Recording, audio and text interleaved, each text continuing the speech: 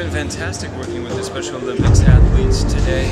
They're very excited to be here. They're very good basketball players. They're giving me a run for my money. Hey, you really dialed in there, huh? Justin's one of our stars. I just let him play. Yeah, wait. Coach Carver's always busting me on my bad habits. That's because I know how good you can be. Being able to use our platform to help out other organizations with a very positive mission and direction is something that I'm quite happy with and proud of. oh, oh, hey. Hey, good. How you doing? Good, how you doing? Good. Right. We'll, go. We'll just leave you guys. I wouldn't. I wouldn't leave him open at the three-point line. This is my friend Kevin James. He's a Special Olympics athlete. Special Olympics enriches the lives of children, youth, and adults living with an intellectual disability through the power of sport.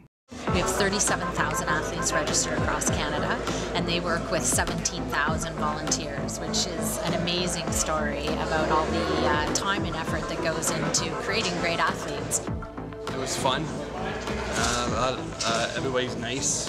A lot of nice people played by the characters and uh, a lot different than I was expecting. It was Kevin is a natural actor. He's never acted before, so for his first time out, I'm pretty impressed.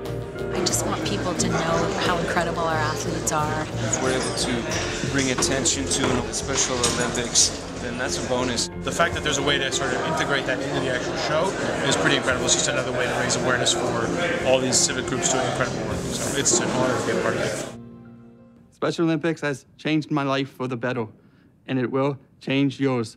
More than 800,000 Canadians have an intellectual disability, but only a small percentage are enrolled in Special Olympics programs.